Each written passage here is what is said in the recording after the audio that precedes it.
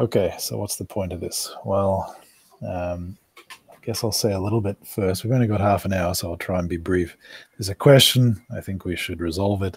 Maybe it's not even difficult. Maybe it's already in Watanabe's papers. It's just a matter of understanding how to use them properly.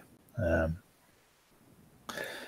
so the question I want to pose is about the free energy approximation. And I guess I'll just state that the most general form that I know of is stated in the WBIC paper. Uh, hmm. So let me just get that up and then I'll, so I'll be sure to write it correctly. Uh, so the sort of main texts for singular learning theory, uh, Watanabe's book, um, as you know, algebraic geometry and statistical learning theory. There's the Green Book. What's that, Edmund? Mathematical theory of Bayesian statistics. Is that? That's right? correct. Um, so that's more recent. Uh, I think what I'm about to say probably is in the Green Book. You can tell me, um. But uh, and then there's also a very important paper, which is probably more widely cited than either of those, which is um, a widely applicable Bayesian information criterion. So maybe I'll put those um, up on the board just so we can refer to them.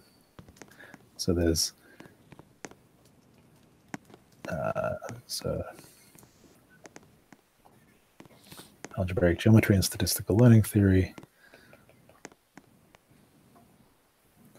There's the green book. I won't say the title again. I just say green book, and this is gray book. Uh, Dan, sorry to interrupt. Are you attached to the YOL? Oh, I'm not. Yeah, thank you.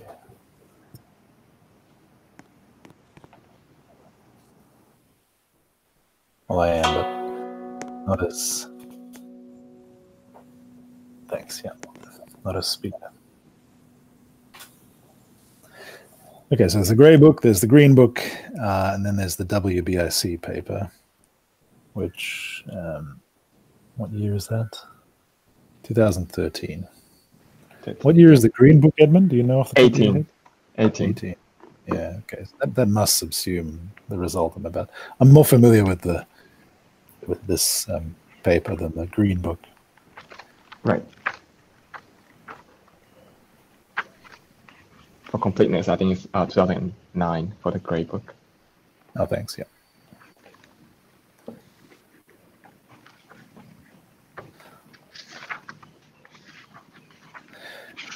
Okay, so the formula, I'll write the dummies version first, but the formula I'm referring to is free energy is approximately some error um, plus lambda log n. And, you know, there's, there's actually more than that. Uh, there's lower order terms, but this is error. This is entropy. Okay, so I'm just going to, let's just call this the free energy formula.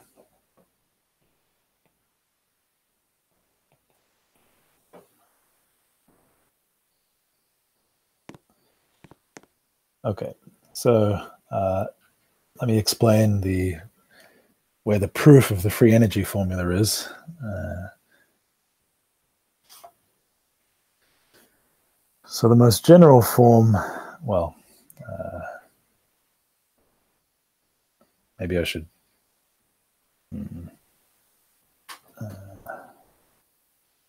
I don't know how much setup to give. I think it'll be useful to give a little bit of setup if we're going to discuss this over several sessions. So just bear with me a second, and I'll um, because there's there's some. I mean, there's if you look in the in the gray book, there's a formula which is main theorem 6.2 and corollary 6.1 for this that has the empirical entropy in it. And then if you look in the WBIC paper, in that position in the formula, there's n ln w hat, and those are the same if kn is zero and so on. And that's related to realizable versus unrealizable, which is kind of the point here. So uh, I think it's worth to avoid confusion on those points. Just um, just recapitulating some basics here. If you'll bear with me. Um, can you guys still hear me? I'm actually not in Roblox on my laptop. I can still hear you. Yep. Okay. Good. Okay. So uh, so recall that so kn the empirical KL divergence uh, is defined for a sample to be uh, to be this. And then if I just expand that, it will be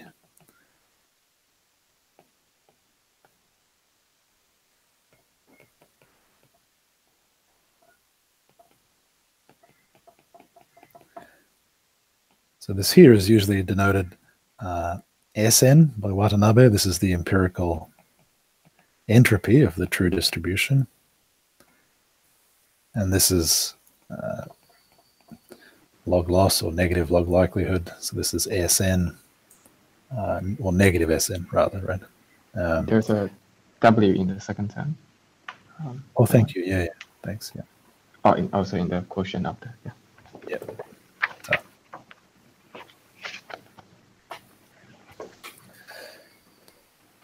Okay, so um,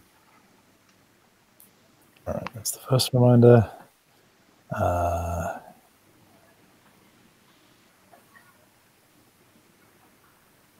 okay, so then the posterior um,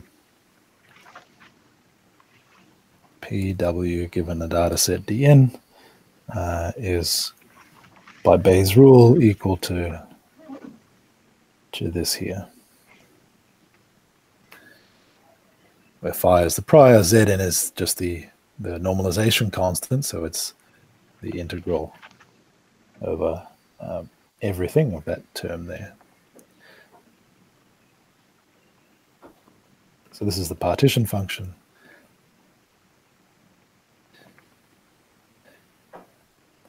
Uh, but notice that I could replace this term here uh, with kn plus sn and then I'd have e to the minus nkn, and I'd have e to the minus nsn, and that would be independent of w.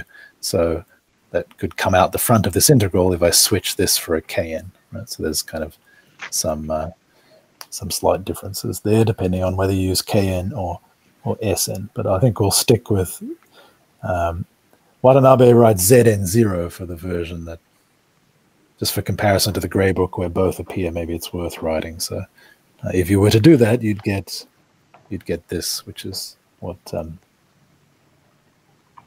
Watanabe calls the normalized evidence or normalized partition function. Okay. Um, now I'm going to switch to making a statement. So this was just a reminder. I'm going to switch to making a statement about the free energy that's in the uh, WBIC paper.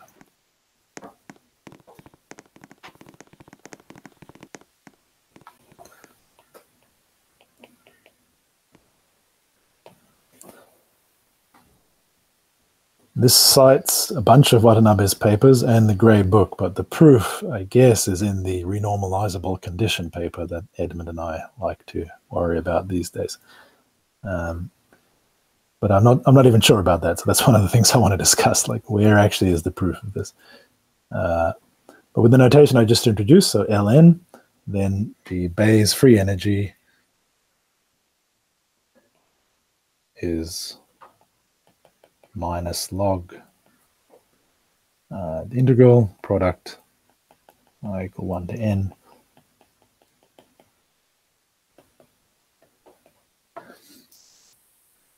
Okay, so how does that relate to what I just wrote on the board? Uh, well, if you look at that formula, I guess it should be visible on the screen for Zn. Um, if I do e to the minus n lnw, well, lnw is uh, equal to 1 on n sum over i log something. So multiply that, multiply that by n um, and get rid of the minus sign, and then uh, take e to the power of that. I'll just get the product over xi's, right? So uh, this is minus log zn. I hope the minus signs worked out right there. Somebody tell me if they didn't. Um, okay, so this is the integral over all of w. Now, what we're concerned with, I guess, here is the fact that, well, this integral often in physics, you don't do it over all of w you do it over some subset of W. So you could say V and W is uh, some compact subset. You might say something like the free energy of V is uh, minus log the integral of the posterior uh, over V. The point being there that if you were to integrate the posterior to just find out how much probability mass is contained in that over V, well, that would be e to the minus fv. So that kind of acts as a, a, um, a coarse graining of, of the energy, something like that. So that's the thermodynamic way of thinking about it. Okay, so that's F, the free energy. I'll just stick with integrating over all of W for the moment, but we we want to work towards uh, something that's, you know, sort of talking about this for various reasons.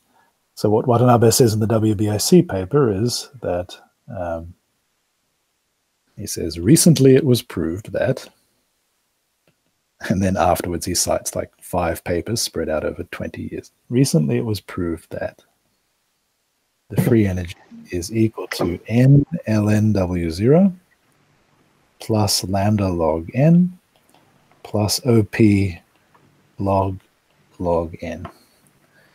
Uh, I never remember what OP means, um, so maybe I'll recall it for you in case you're similarly disabled. Um, so a sequence of random variables is is OP1 if uh, I'll just write it.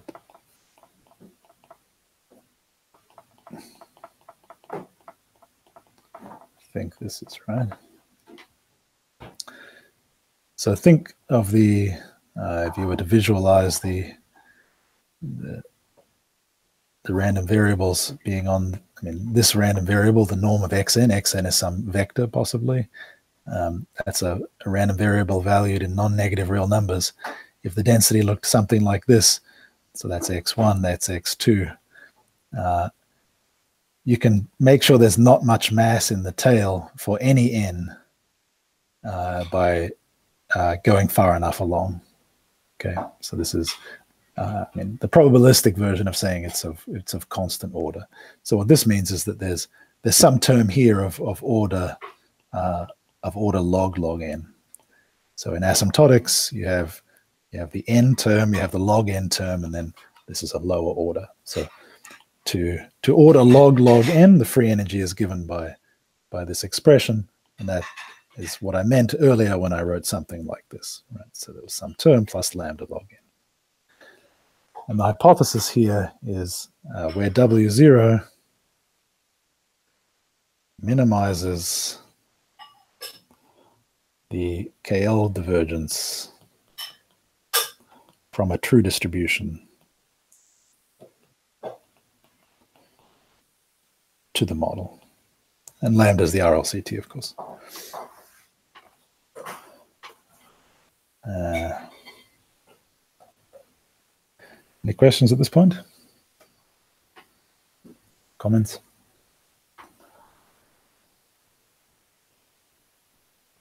Okay, so immediately after that statement, he cites a bunch of papers. Uh, let me just check them. So 2010A, which is uh, the renormalizable condition paper. Uh, I didn't add that to the list. Maybe I maybe I'll do that just a second.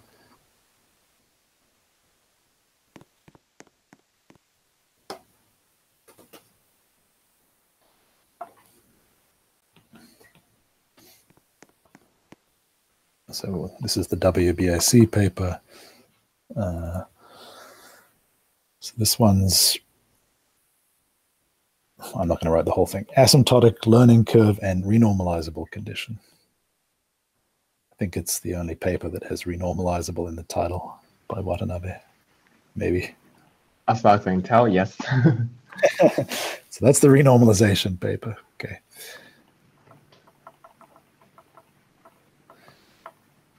and that's that's 2010A um, in the WBIC paper. So he cites that for this free energy formula. He cites 2009, which is, of course, the Gray book. So let's see. Let me put these up on the board with that claim over here. Uh, so he cites the, the renormalization paper. He cites the Gray book. Uh, what else does he cite? 2001A. That that's algebraic analysis for non-identifiable learning machines. I feel like that's actually not relevant. Or I think he's just listing a bunch of stuff. I don't see how that is. That's even. I mean, that's a, that's a very old paper. In 1999, that's algebraic analysis for singular statistical estimation. So I feel like those two, I don't see why they're cited. I don't think they're relevant. Someone can correct. I think there's a sense that like he's citing the genesis of the idea of using algebraic geometry in in all this. Um, right. Uh, just basically explaining where the lambda come from. Yeah, I think that's right. Um, okay, so let me say what I think is in the Gray book. Uh, well, so there's there's two things to say, right? There's what problem do I think we should solve, uh, and what is known, maybe I'll say what I want first, and then, well, I'll briefly comment that this formula is definitely proven in the Gray book when this here is just equal to NSN. Well, uh, how should I say this? That's not quite true. Um, okay, so the Gray book proves this in the realizable case. That is, when it's possible to realize the model, the true distribution by the model. Um, so when when k of w0 is equal to 0.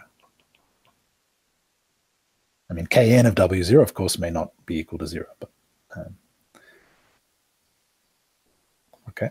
So that's the version that Watanabe is, that's in main theorem 6.2 and corollary 6.1. Uh, but he's stating a more general fact here, which is that even if you can't realize the true distribution, uh, it's still true under some conditions. Uh, maybe I'll come back to those. So the WBIC paper, actually, I'm not even, maybe actually in the WBIC paper itself is a, is another proof of this. I, am not sure. Um, okay, so that's another thing I'm confused about. Um, all right. Well, before I be any more precise about what's known and what's not known, let me say what I want and why.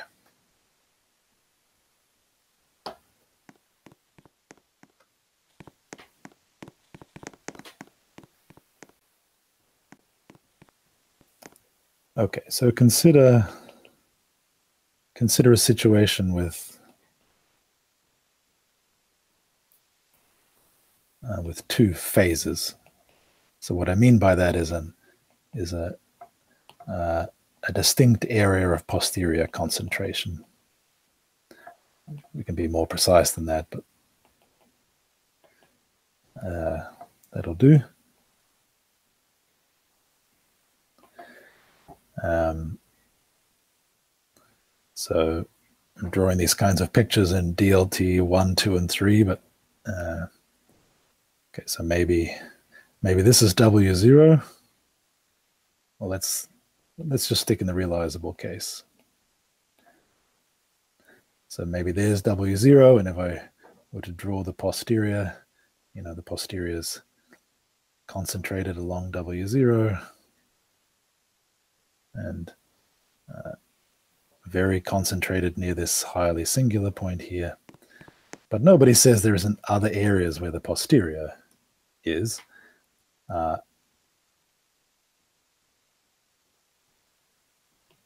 course, the posterior depends on dn, right? So you, you sample dn and then you get some distribution over the weights.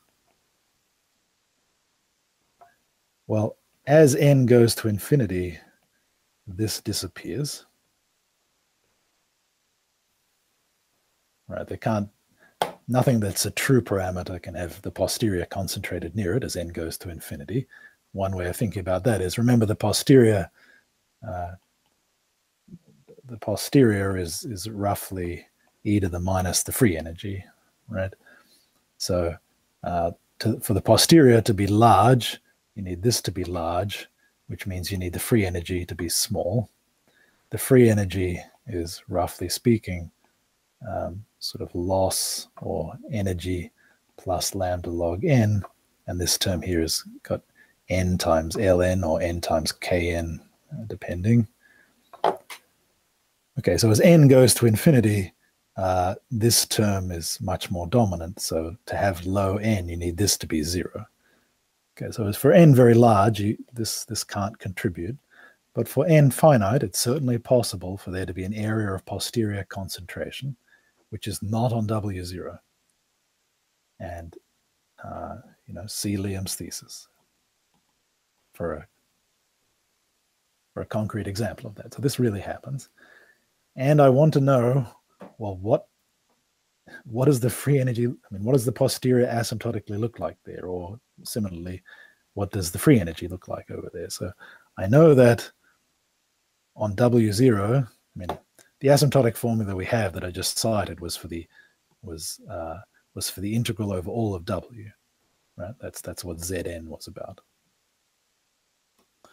But you could do the same trick. I mean, if I were to, if there were some multiple multiple interesting places on W0, uh, I can run the same integral, but for W prime. And, and it all works, I believe, and gives you a formula which would, you know, you could say near here, you're going to use lambda, and near here, you'll, you'll see the same formula roughly, but with W, with lambda prime. So that's a way of comparing how the free energy or posterior behaves near different points of W0. But, but what about this? So my question is, uh, what is the free energy formula?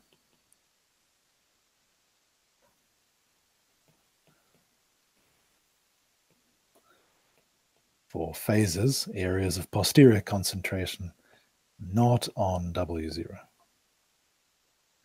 So i.e., um, if you were to define, let me call this region out here something. Uh,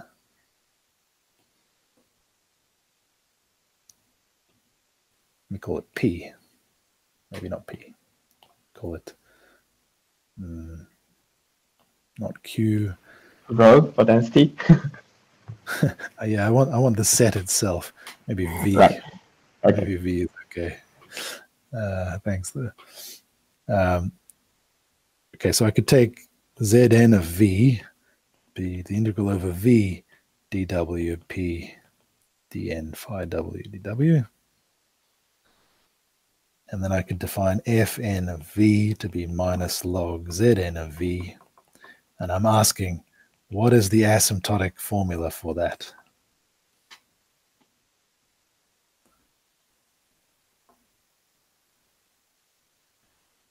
Okay, so that's my question.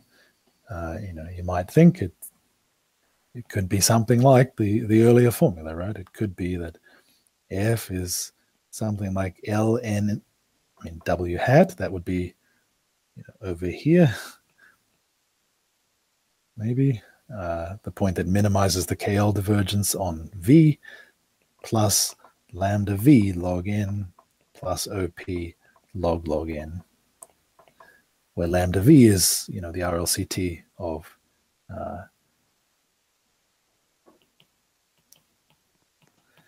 of the KL divergence minus this smallest value. So this would be non-negative on V, and you could blow it up and compute the RLCT. So that would be, you know, a reasonable guess, and that's a kind of heuristic that's stated in some of my notes and so on, and, and used in some way to try and compare phases, etc. Um, but I don't know if that's true. I think that is true as long as we believe the, uh, the that that formula holds for the unrealizable case, because this is equivalent to changing the uh, uh, what is it the prior to by, by multiplying it with a cutoff function, cut off cutting off um, v. That's right. So it seems uh, since the WBIC paper covers at least part of the unrealizable case, there's some condition. It does seem like we should, in principle, be able to just apply the WBIC paper to right that modified prior, or if you like, changing W to be V. Yeah, I think that's. It seems like hopefully true, but I I don't know where the statement in the I don't understand the proof of the statement in the WBIC paper. So I think Edmund's right that in some sense I hope that we can just apply that statement. Uh, but then I, I want to be sure that however that's proven that we really know the hypotheses are true. Um, and I, I don't want to just take for granted what's stated in the WBIC paper. So I, I either want to understand I mean, maybe that there's an alternative proof in the WBIC paper itself. There's certainly something in there that might be relevant, or in the renormalizable condition paper, or maybe it's in the Green Book. I don't know. Does the Green Book reprove uh, I yeah, I think so.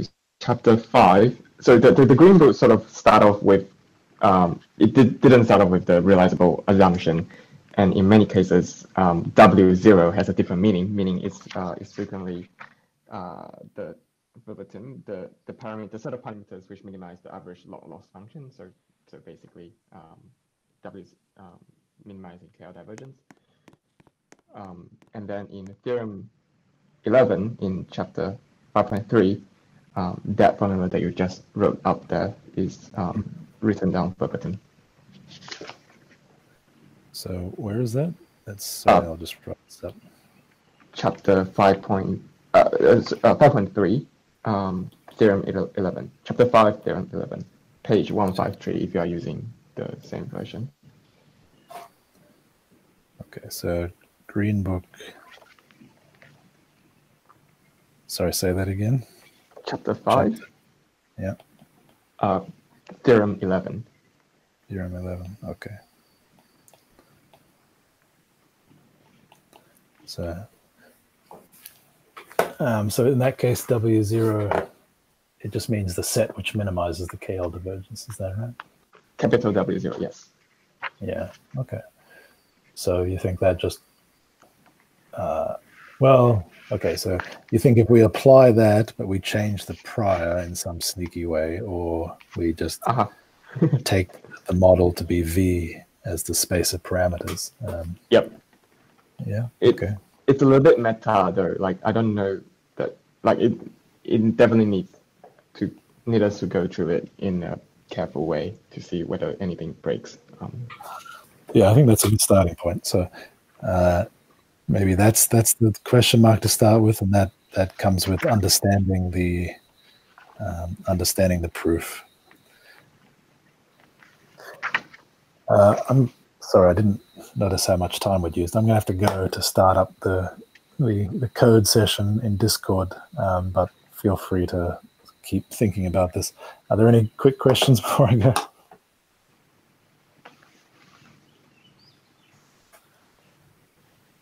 Okay. Um, yeah, sorry to leave unceremoniously, but um, you can ask Edmund for clarifications, I think, if you if you want to understand this further, and we'll continue uh, next week. So thanks, everyone. Thanks, uh, Thank yeah. you. Thanks, Dan. Man, so in the Green Book, he really labels the theorems and propositions separately. What do you mean, theorems and like, propositions? Trying to find theorem 11, and I'm seeing definition 16, or maybe I'm wrong. Uh, yeah, so yes, definitions. Okay, yeah, you're right. Uh, definitions yeah. and I think pet peeve of mine. People who do this wait, wait, which, what, what is your preferred um, way? Uh, just everything in this, in, in, this is, anyways, find this as long as I can find it without having to keep track of like the last theorem, right? Uh, I see theorem nine. All right. So I'm, I'm page 153. Thanks. Just got it. All right. Cool also uh, a word of warning though that that, that chapter is um, is before he even discussed any um, uh, what's any resolution of singularity. Basically, he says, uh, let's look at the standard form, let's look at normal crossing form, and then mm. um, bunch of theorems about normal crossing forms. and before uh, and then in the next chapter he says something like, by the way, this is this normal crossing form is the most general you can get because you can always blow things up.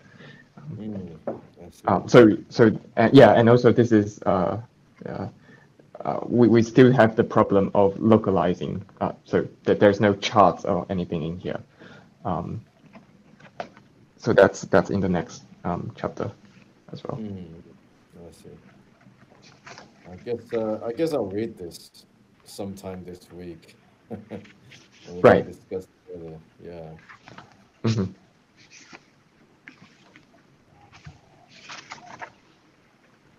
It's uh, chapter five, more or less. I mean, I guess I'll have to go back and see where where it makes sense to start reading because this is like okay, okay. Uh, th- this book is a bit more statistical than geometrical. Um, Mm. Yeah, it looks like it. Yeah. yeah, it discuss it, it doesn't quite discuss any of the geometric results. It, it just cites them. Um, particularly galling is that he, at some point he comments that the gray book is for non-mathematician. The great book is what? it's for non-mathematician. that was yeah that that uh that undermines my confidence a little bit It's pretty funny. Yeah, I haven't looked at the green book. I mean, I downloaded it at some point because I'm looking at my. Obviously, you guys mentioned it. Um, all right, I guess I guess chapter five is probably going to be a good read. I'll, I'll probably start there and take a look. Yeah. yeah um i think chapter five is um i, I haven't read through it like very carefully um uh yeah i think chapter five is definitely sort of is is rather independent from previous chapter Okay. previous chapter discussed like um, what about Bayesian statistics that we care, uh, that we should care about. Um, and chapter five discuss um, that form specifically, the the normal crossing form. mm mm, Okay. But then I, I- I guess uh, I guess do be careful though that uh, the Green Book, uh, since chapter one, um, uh, did not have the reali- realizability assumption um, straight away. So um, maybe uh, where is that? Um,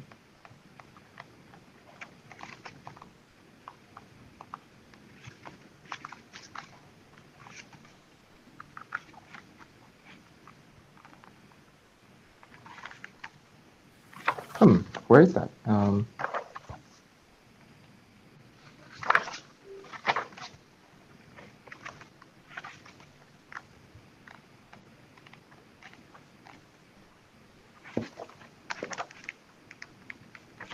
Right. So so in chapter three, I think chapter three is where he lays down um, the the things that we care about, like Mm. um, like uh, the the observables, the uh, generalization error, etc. And in chapter three, um, uh, in the first yeah, in the first few in the first few um, pages, he deals with the uh, relationship between true distribution and statistical model. So basically, that's where he de- define um, regular model, singular model, and that's the same as the Gray book. However, um, the thing that is drastically different from the Gray book is that he defines um, the conditions, uh, the realizability, unrealizability, and uh, he carve out another huge part of unrealizable case, uh, something he called uh, I I guess it's like the renormalizable case, um, but he calls something like uh, essentially unique case. Um, so basically, when things are not realizable, uh, then the the minimizing set, the W0 minimizing set, does not need to have um, does not need, to be the, literally the same uh, distribution, even though they all minimizes the distance. Um, Right. Yeah. So- yeah. Yeah.